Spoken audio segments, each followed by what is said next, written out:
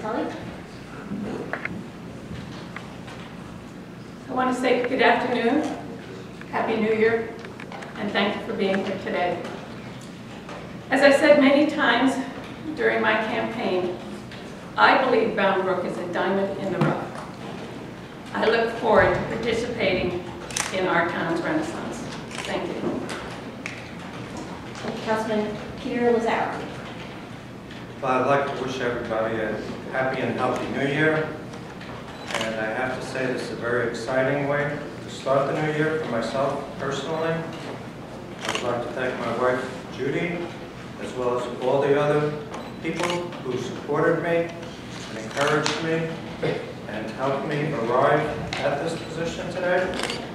I would also like to express my gratitude to the people of Bound Brook for giving me this opportunity to serve the community.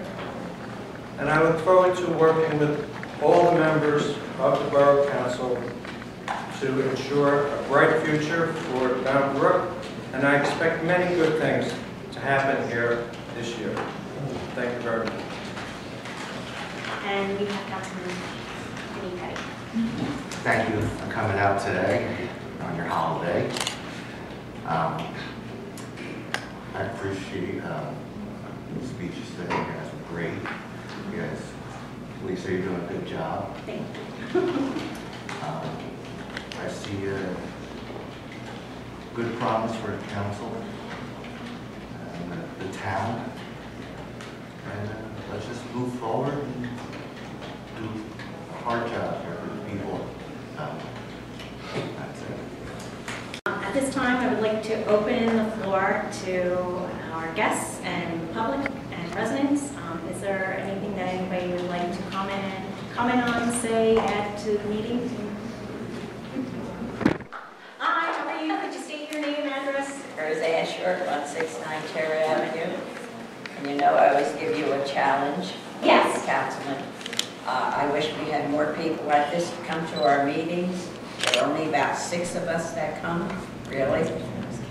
And that's a generous count. And they're mostly seniors. And I feel that the younger people in Bound Brook should have more of an interest on what's going at the council meeting. And they get the right answers at the council meeting and not at the QuickChek or some other place. Uh, I would, I know, Mr. Levin, you have a challenge this year. We're gonna, if you have something strong, you stick up for it against all the Democrats too. Uh, I believe that I tell everybody on the council councilman, you're not a Democrat or you're not a Republican. You're a member, you're for the taxpayers of Bound. So when you vote, you don't vote Republican or Democrat. You vote for the taxpayers of Bound. So that's what I like. I wish all the politicians, county, state, national, do the same thing. And listen to the people of your town, because they have a lot to offer to you. Sometimes I think you don't listen to the people of the town. As you know, when I come to the meetings, I very verbally tell you what I think.